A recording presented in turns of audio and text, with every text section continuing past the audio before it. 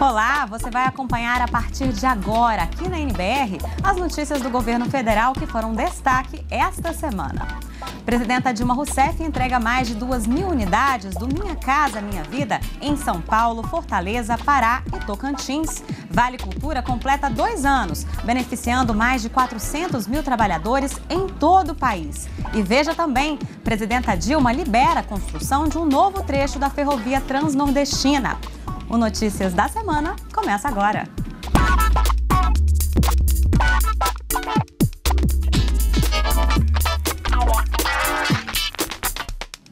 O número de vagas para cursos de medicina no país aumentou. As faculdades e os estudantes vão passar por avaliações feitas pelo Ministério da Educação. A ideia é garantir a qualidade do ensino.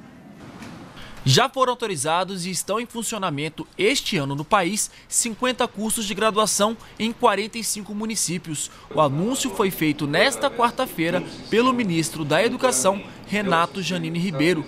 Segundo ele, antes do Mais Médicos, havia 213 cursos em 13 municípios. Com a ajuda do programa, a média do número de vagas nos cursos de medicina subiu de 0,8 para cada 10 mil habitantes em 2012 para 1,13 vagas em 2013, média próxima de países como Inglaterra e Austrália. As novas vagas foram abertas principalmente em regiões que apresentavam poucos profissionais dessa área. O aumento do número de vagas é decorrência basicamente do programa Mais Médicos, que mudou a forma de criação de, de faculdade de medicina no Brasil, determinou primeiro lugar, uma regionalização que, que contemple também o interior do país, que era muito desprovido, e orientou também algumas prioridades na formação. O número de vagas para professores também aumentou. Foram criadas 880 vagas só em 2015.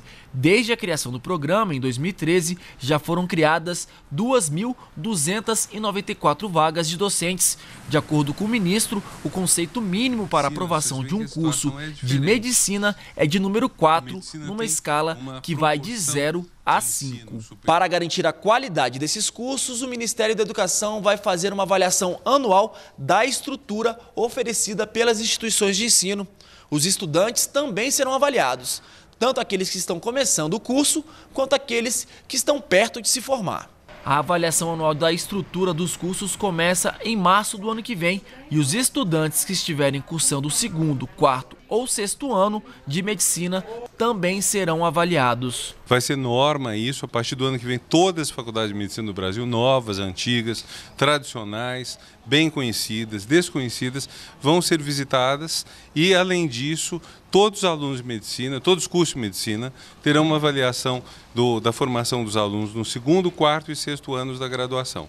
Ou seja, se estiver havendo problemas na formação do aluno, eles vão ser detectados logo.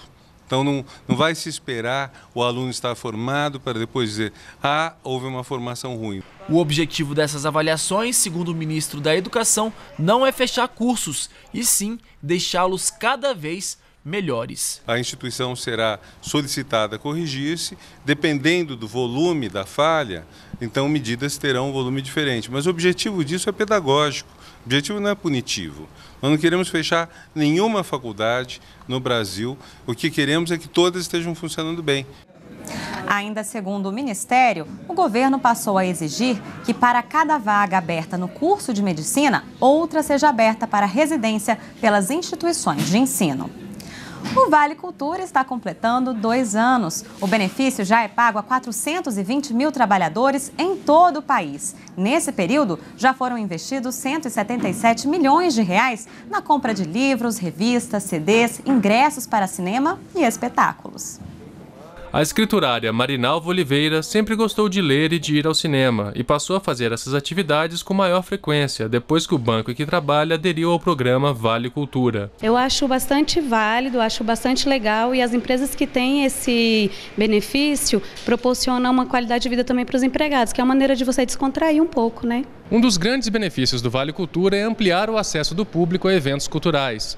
O Vale também estimula a economia do setor de serviços. Desde que começou a aceitar o cartão, esse cinema teve um aumento de 30% no número de espectadores. O movimento aumenta porque aí você nas empresas divulgam né, os estabelecimentos que fazem parte do programa. Para ter acesso ao Vale Cultura, o trabalhador deve possuir vínculo empregatício formal com uma empresa que tenha aderido ao programa. Trabalhadores que ganham até cinco salários mínimos pagam no máximo R$ 5,00 e recebem R$ 50,00 a cada mês para gastar exclusivamente com serviços e bens culturais.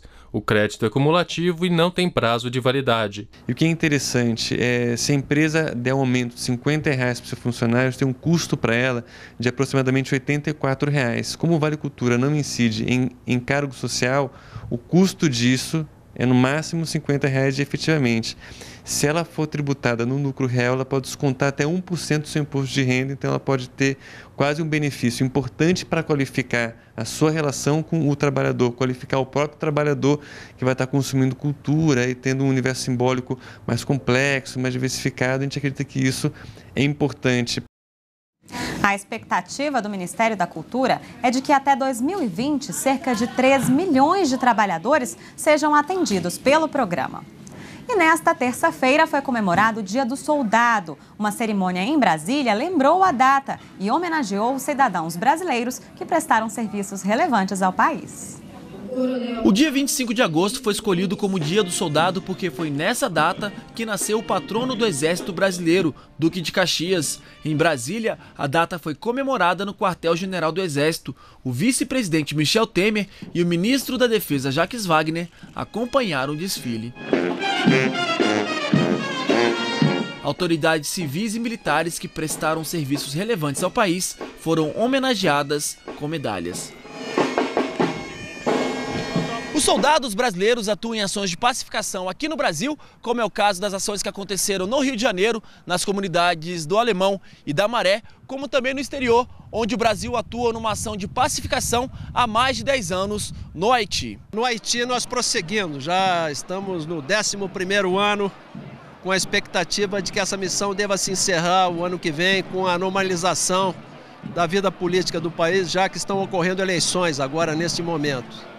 Cumprimos as missões na favela da Maré, lá estivemos por 14 meses. Temos a consciência de que contribuímos com o governo do estado do Rio de Janeiro e com a população daquela área, é, auxiliando a trazer a estabilidade para que outras áreas do governo pudessem fazer o seu papel de, de, de, de, evoluir, de melhorar a conjuntura e a realidade do ponto de vista econômico e social da população. O número de novos cadastros no Tesouro Direto bateu recorde em julho. O programa, que dá acesso a títulos públicos por pessoas físicas, teve mais de 15 mil novos cadastros. O sistema bancário oferece vários produtos financeiros para que as pessoas possam investir o dinheiro economizado.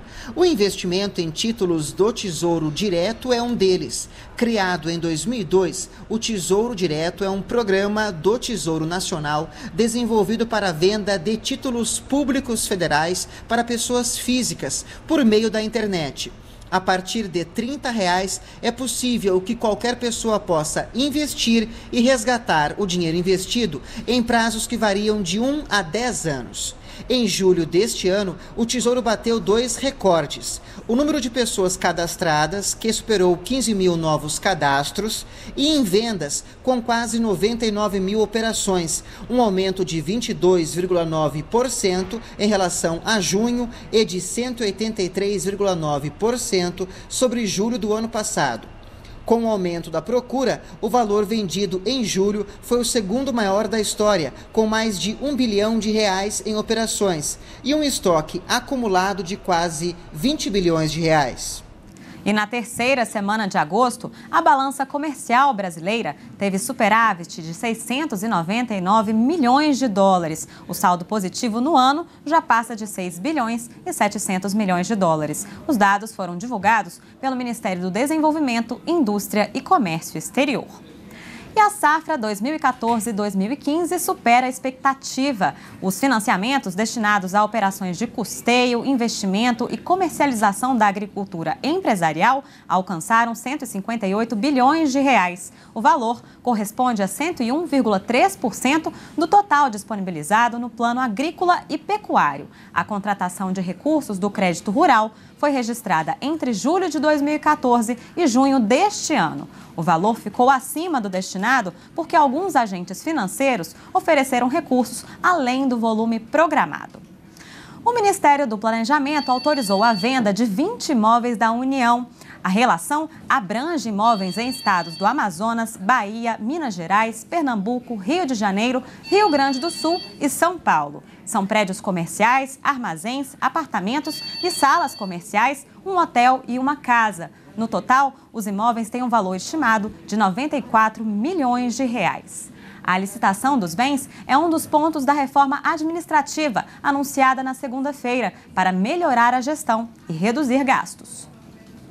Imóveis que não são imóveis é, prioritários para o funcionamento da máquina pública, mas são imóveis que a União obteve é, no passado e hoje tem um valor considerável que podem melhorar ah, o desenvolvimento urbano nas cidades em que eles se localizam e no, nesse momento também de de reestruturação fiscal proporciona uma receita substancial para o governo.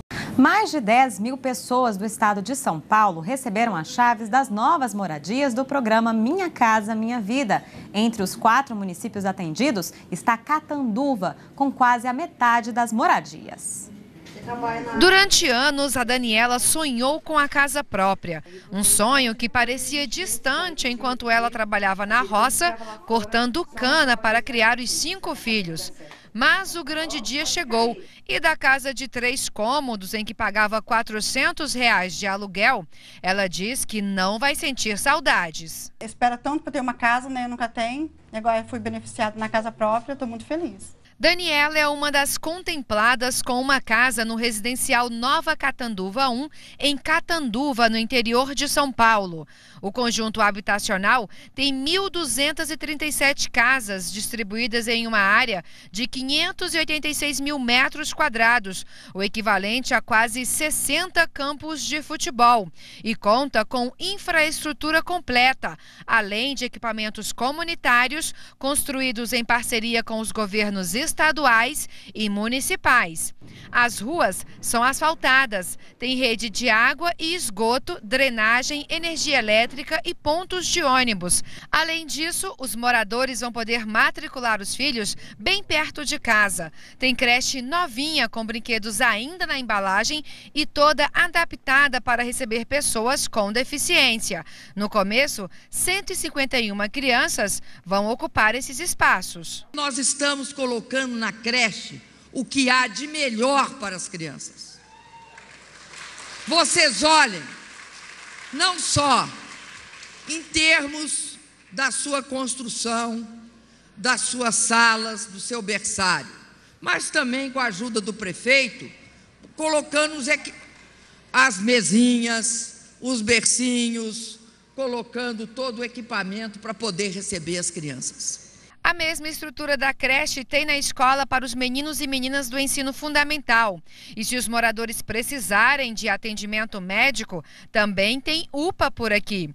E um posto policial para garantir a segurança da população. Na hora do lazer, os moradores podem se divertir nas praças e nos parques infantis. E também ficar em forma em qualquer uma das seis quadras de esporte, na academia a céu aberto ou nos três quilômetros de pista de caminhada, todos instalados dentro do residencial Nova Catanduva 1. Da porta de casa para dentro, os moradores terão dois quartos, sala, cozinha, banheiro e área de serviço.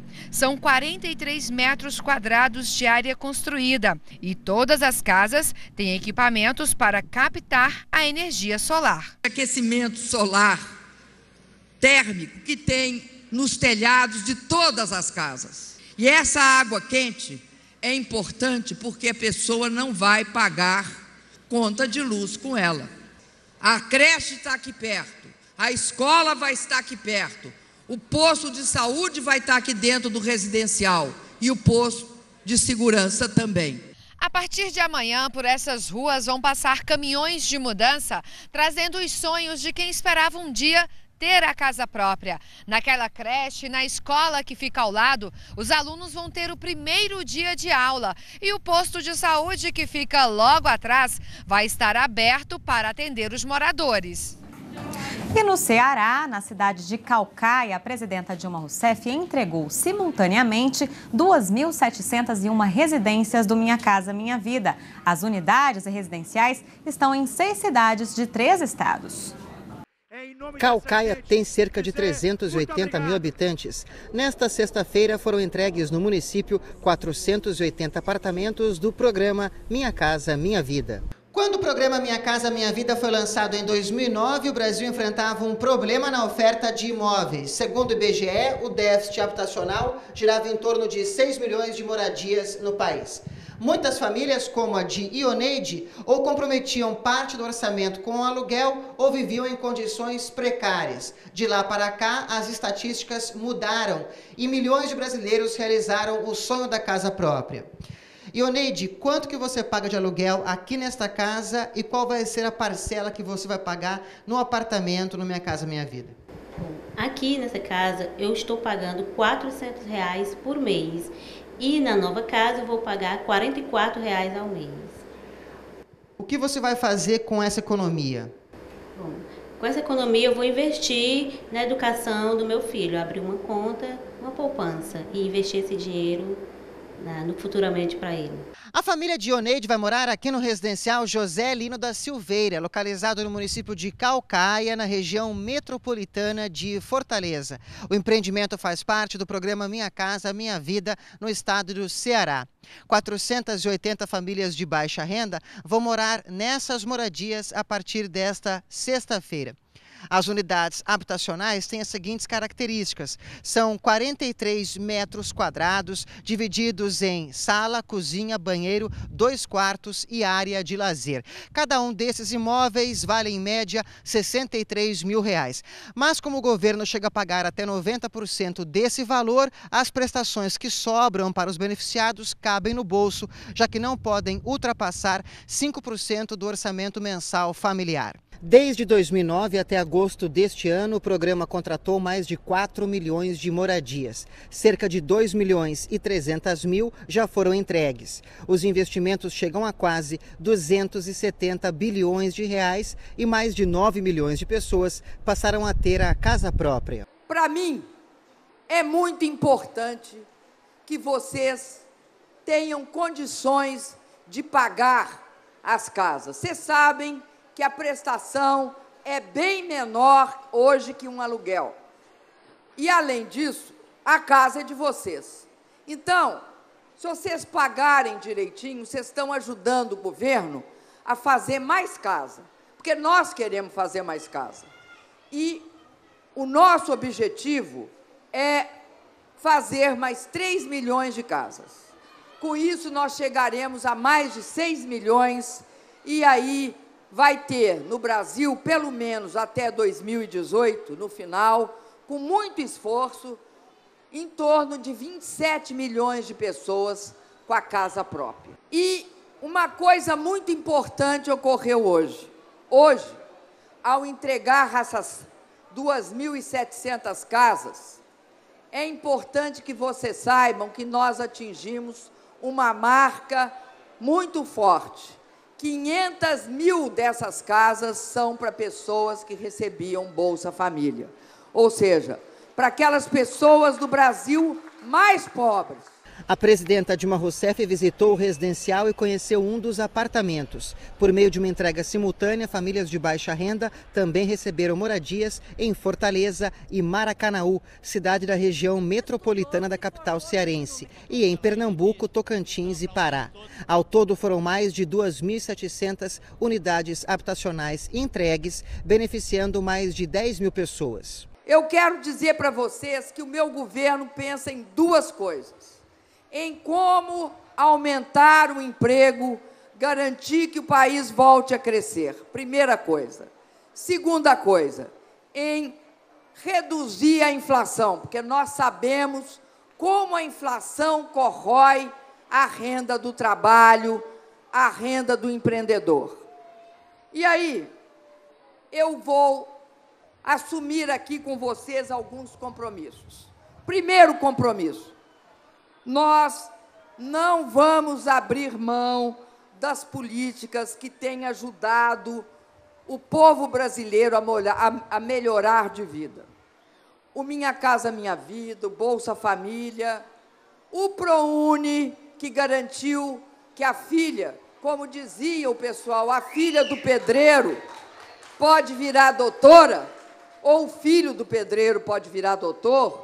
O Bolsa Atleta completa 10 anos e uma cerimônia no Palácio do Planalto marcou a década do programa, que patrocina esportistas. O Bolsa Atleta já atendeu mais de 17 mil competidores. Em 10 anos, o Bolsa Atleta se transformou no maior programa de patrocínio esportivo individual do mundo, segundo o Ministério do Esporte.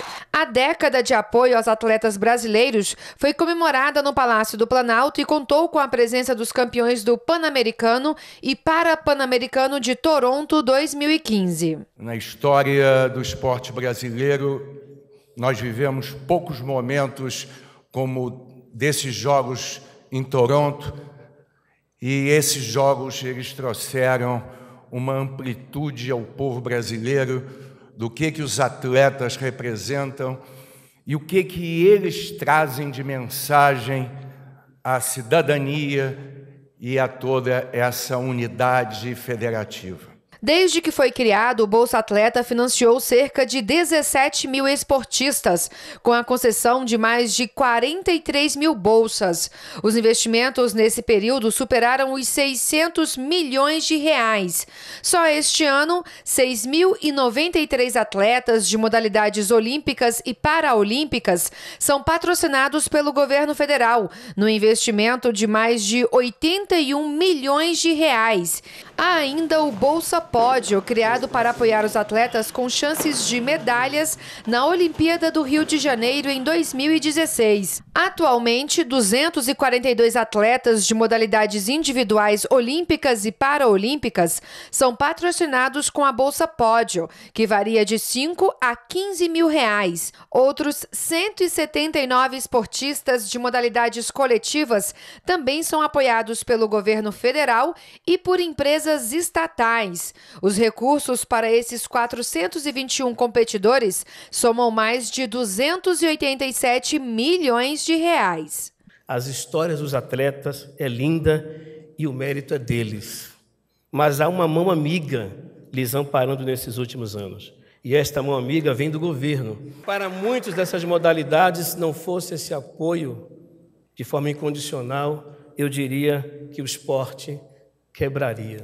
O resultado do apoio está no peito dos atletas. Na última competição internacional, os Jogos Toronto 2015, mais de 85% das medalhas conquistadas no Pan-Americano vieram de competidores ou equipes patrocinadas pelo governo federal. Na competição para a Pan-Americana, os brasileiros ficaram em primeiro lugar no quadro geral de medalhas pela terceira vez seguida. Das 257 medalhas conquistadas, conquistadas no Parapan, 254 foram para esportistas financiados pelo Bolsa Atleta, o que corresponde a 98,8% do total. O Brasil Paralímpico é um Brasil que vence, que dá exemplo de superação, de que mesmo quando tudo parece contrário, eles vão lá e vencem. A velocista Teresia Guilhermina, que levou três medalhas no Parapan-Americano de Toronto, falou do orgulho em representar o país na competição. Juntos, nós nos tornamos mais fortes.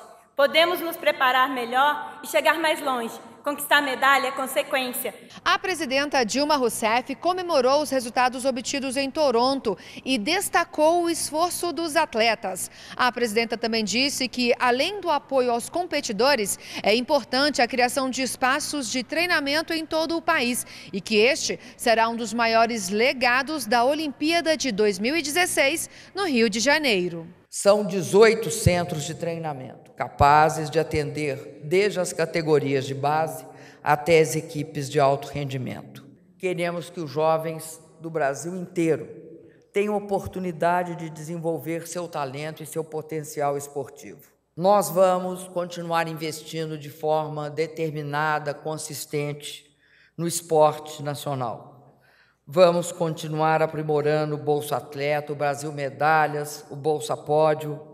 A presidenta também destacou o ensinamento dado pelos competidores. Tem necessariamente alguns ensinamentos que o esporte mostra para todos nós, mostra para todo o povo brasileiro. Esse ensinamento é necessariamente uma história de superação. Supera obstáculos, as limitações, supera a lei da gravidade, supera todos todas aquelas limitações que cada um de nós temos. Supera os medos. Mostra também que é possível sofrer é possível sofrer derrotas, é possível sofrer dificuldades no caminho, mas que todo atleta levanta e segue em frente. Muitas vezes não ganha na primeira, mas ganha na segunda, ou ganha na terceira, e segue lutando para ganhar. E respeita também o resultado do outro atleta, que é o vencedor. O Notícias da Semana fica por aqui. Na semana que vem voltamos com outros assuntos de destaque do governo. E continue com a gente aqui na NBR, a TV do Governo Federal.